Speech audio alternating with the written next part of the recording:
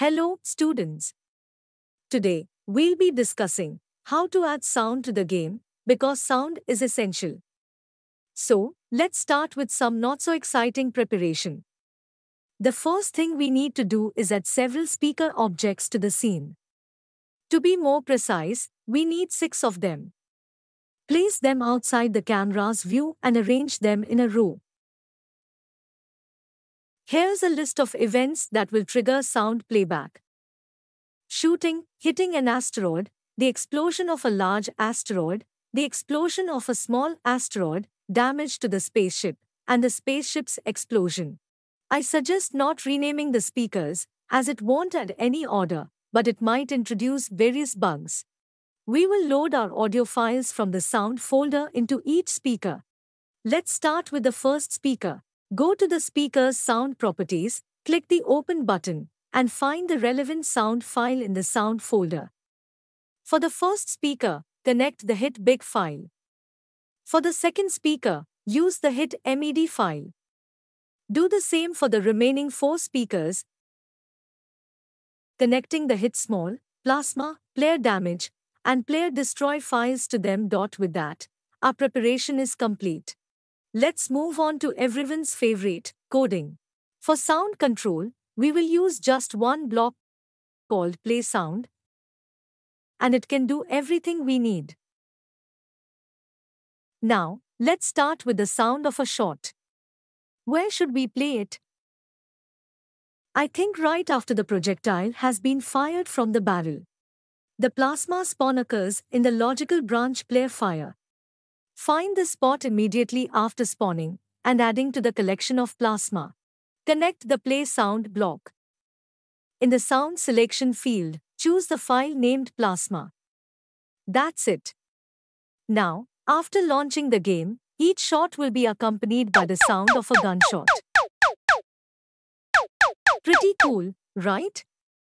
If you don't like the volume of the sound, you can change it using the volume parameter on the play sound block. 1 unit means full volume. If you change it to 0.5, the sound will be played at half its volume. Now, let's move on. Where should we insert the sound of hitting an asteroid? It makes sense to do it in the plasma collision branch. Let's plug it in at the end of the branch. Choose the hit small file for it.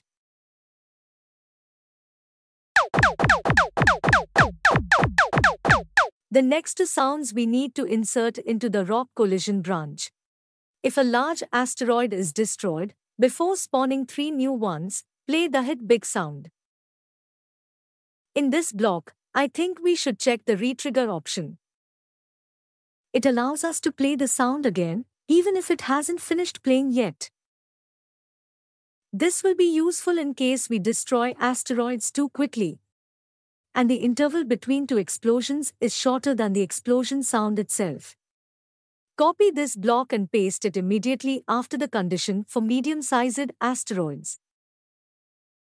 Change the file to hit MED.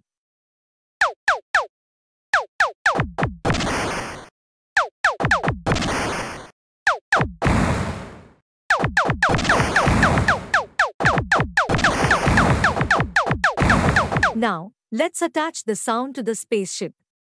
We need the player collision branch. Find the place where the spaceship takes damage, after which we spawn a small explosion. Right after this, add the play sound block and select the player damage sound. Activate the retrigger checkbox. Next, go to the point where the life falls below zero and add another play sound block in parallel with sending the game over message. Choose the player destroy sound. That's it. That's how you can add and configure sound for your project in just a few clicks.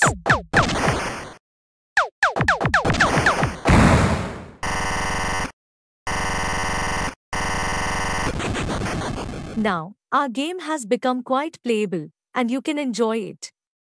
So, let's wrap up the activities for today. Goodbye.